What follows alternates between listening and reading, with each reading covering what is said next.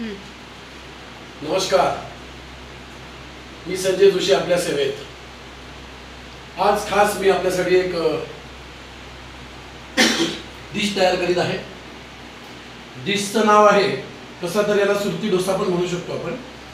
पण आपण नाशिककर आहोत म्हणून मी या डोशाला नाशिकचा डोसा असं नाव देत आहे.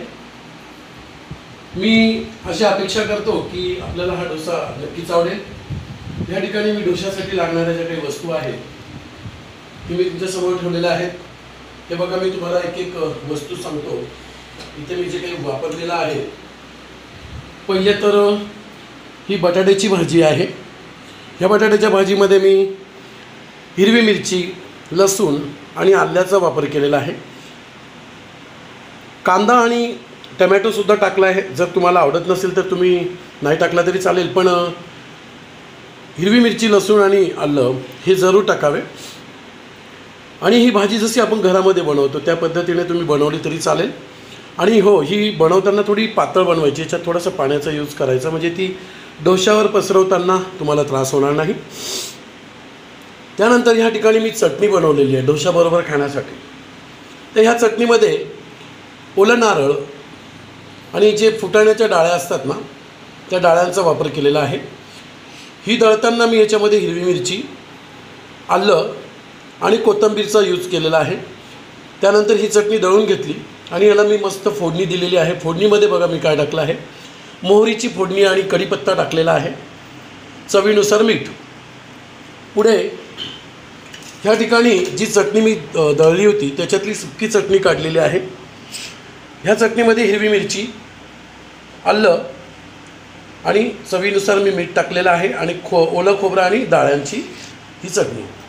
त्यानंतर ह्या ठिकाणी मी बारीक टमॅटो चिरून घेतलेला आहे. कांदा चिरलेला आहे. हिरवी मिरची चिरलेली आहे. कोथिंबीर. आणि हे जे मसाले आहेत हे आपले घरगुतीच मसाले आहेत पण याच्यामध्ये मी काय काय वापरलं आहे ते सांगतो. ॲव्हरेजचा किचन किंग कांदा लसूण मसाला अंबारीचा ह्याच्यामध्ये थोडासा चाट मसाला टाकलेला आहे मी आणि लाल मिरची. असं एकूण हे मिश्रण केलेलं आहे आणि थोडंसं मीठ. ही बारीक शेव तर हे डोशावर पसरवण्यासाठी. ह्या ठिकाणी मी बटर आणि तेलाचा वापर केलेला आहे. हे दोन्ही एकत्र वापरलेले आहेत आणि हे चवीनुसार जसं मीठ वापरायचं असेल तर हे मीठ ह्या ठिकाणी मी घेतलेलं आहे. पुढे इथे आपण डोशासाठी लागणारा जो आटा असतो तांदळाचा आटा आहे. तांदूळ भिजवून एक रात्रभर तांदूळ भिजवून सकाळी दळलेले आहेत आणि दिवसभर ठेवून आता मी ते बनवायला घेतलं आहे तर ह्याच्यामध्ये मी काय काय वापरले ते तुम्हाला सांगतो. ह्याच्यामध्ये मी थोडीशी साखर बेसन पीठ आणि सुक्का दळलेलं तांदळाचं पीठ असं मी एकूण ह्याच्यामध्ये मिश्रण केलेलं आहे. आणि डोसा टाकताना थोडं पीठ लक्षात येईल असं की एकदम पातळ पण झालं पाहिजे आणि घट्ट पण झालं पाहिजे. डोसा जेव्हा आपण ताव्यावर टाकतो त्यावेळेला तो फिरवता आला पाहिजे.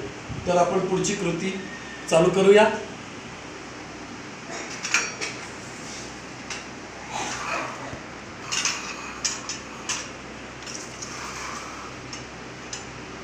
आणि हो जसं आपण पावभाजी खायला जातो बघतो आपण की भाजी जशी ताव्यावर रगडली जाते तसंच त्या त्या पद्धतीने मी जो डोसा बनवणार आहे म्हणून हे हे जे भांडं आहे ही सुद्धा आपल्याला इथे लागणार आहे. तर आपण पुढे सुरुवात करूया.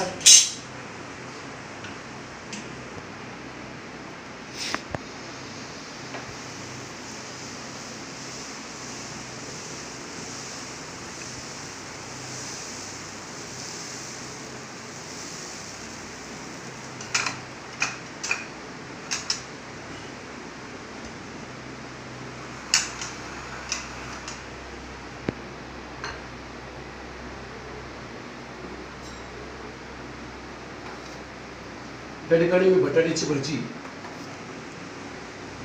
दुसऱ्यावर टाकली आहे.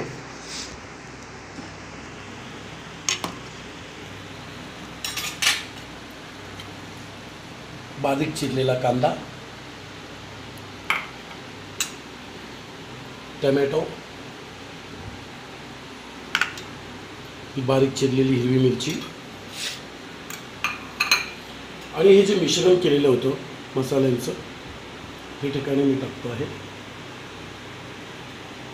आणि चवीनुसार थोडंसं मीठ. या ठिकाणी मी जी सुकी चटणी तुम्हाला सांगितलेली होती ती चटणी मी ह्या ठिकाणी टाकतो आहे.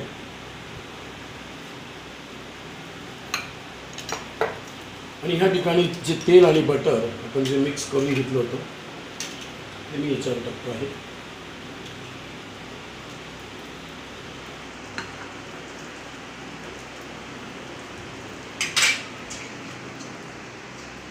आणि ह्या भांड्याचा उपयोग मी आता ह्या ठिकाणी करणार आहे.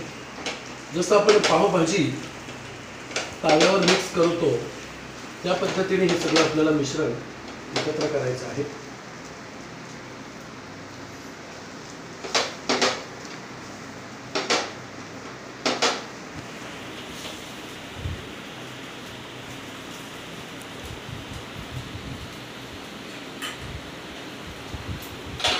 सगळं व्यवस्थित असं पसरून घ्यायचं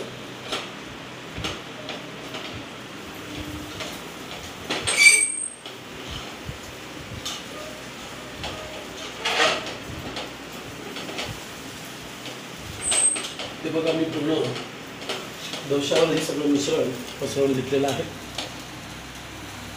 आणि याला चांगलं रोस्ट होऊ द्या.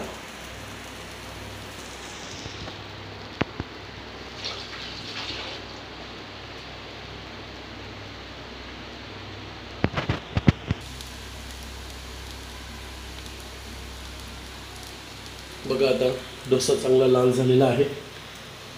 या ठिकाणी आता आपण याच्यावर थोडीशी कोथिंबीर टाकूया.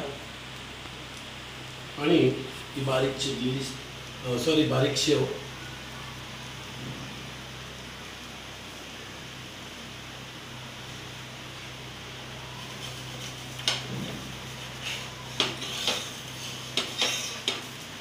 बघा मस्त रोस्ट झालेला आहे. त्याला असं गोल राऊंड फिरवून घ्यायचे.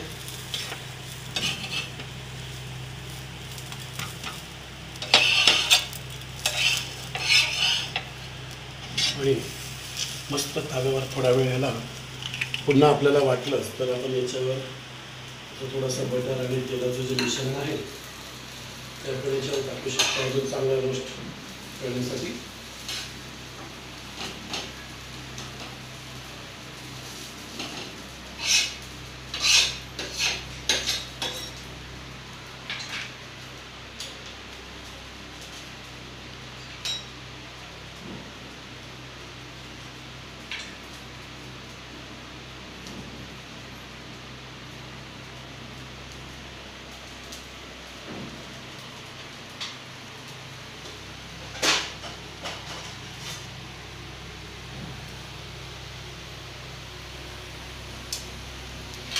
आता आपण याची मस्त अशी छोटे छोटे पीस करून घेणार.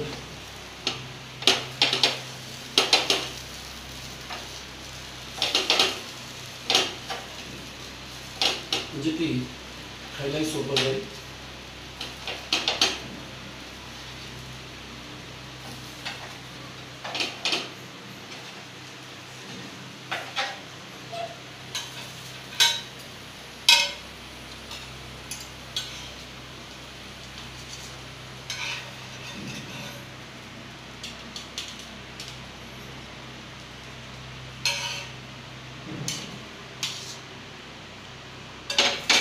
त्यानंतर आपण याच्याबरोबर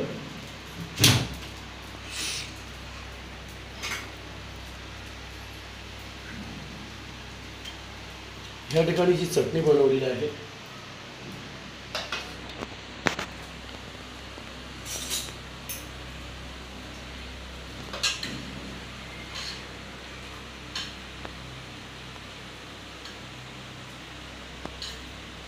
मस्त मजेशीर तुमच्या घरी जे काही पाहुणे असतील मित्रमंडळी असतील त्यांना तुम्ही हा नुकसान खाऊ नक्कीच त्यांना आवडेल अशी मी अपेक्षा करतो.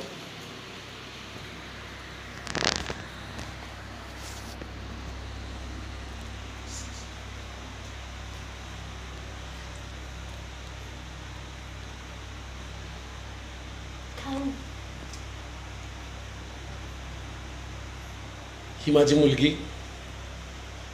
स्वतः टेस्ट करत आहेत. आणि ती खूप खाण्याची शौकीन आहे.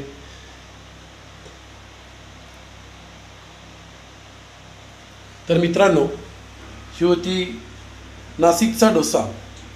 याच्यासाठी लागणारे पदार्थ मी सुरुवातीला पण तुम्हाला सांगितले आणि ह्या ठिकाणी ठेवलेले आहेत. तुम्ही बघू शकता. आणि जर तुम्हाला डोसा आवडला तर माझ्या चॅनलला नक्कीच लाईक करा शेअर करा आणि सबस्क्राईब करायला विसरू नका. सबस्क्राईब केलं म्हणजे तुम्हाला माझी जी काही डिशेस मी बनवणार आहे याच्यानंतर यानंतरची डिश जी असेल भरली वांगी जसं आपण खात असतो त्याच पद्धतीची एक टिपिकल फूड म्हणून मी भरली वांगी बनवत असतो. आणि तिची बनवण्याची जी पद्धती आहे ती पूर्ण वेगळी आहे. ह्यानंतरची जी डिश तुम्हाला मी पाठवणार आहे भरली वांगी पण तिचं नाव आहे टिपिकल फूड. जर माझा तुम्हाला हा जो डोसा आवडला असेल तर नक्की माझ्या चॅनलला लाईक करा शेअर करा. नमस्कार.